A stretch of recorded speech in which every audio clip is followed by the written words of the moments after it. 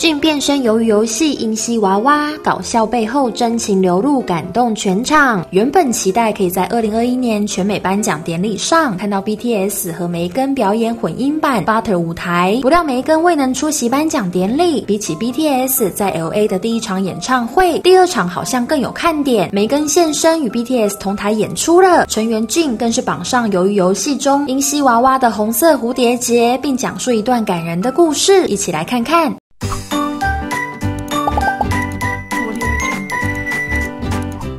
就好像由于游戏当中第一个游戏登场的英熙娃娃一样，俊在头发绑上红色蝴蝶结，只要喊口诀“木槿花开了”，就会转头看到俊搞笑的模样，让演唱会现场笑声一片，而俊也开始吐露感性。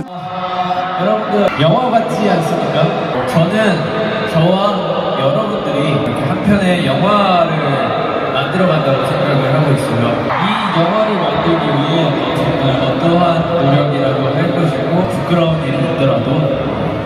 최선을 다해 할 예정입니다 저희의 인생이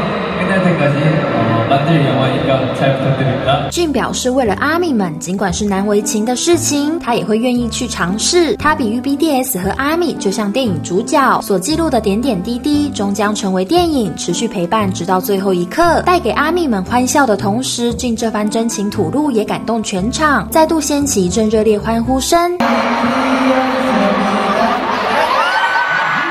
以上是今天的三分钟 K 报。